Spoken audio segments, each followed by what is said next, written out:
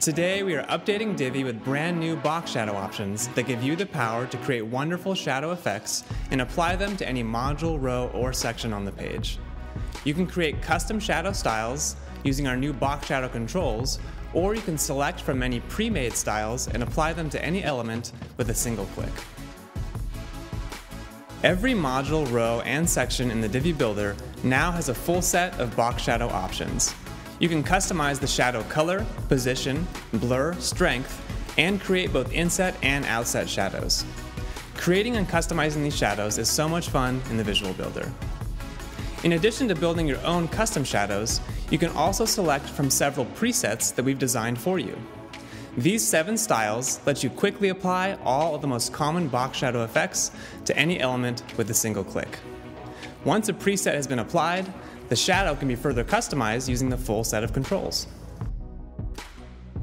There are so many great ways that you can use box shadows to bring your designs to life. Add a box shadow to a button to help it stand out.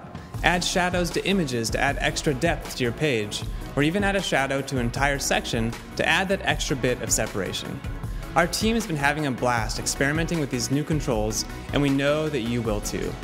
Just take a look at some of the awesome designs our team was able to build using these brand new features.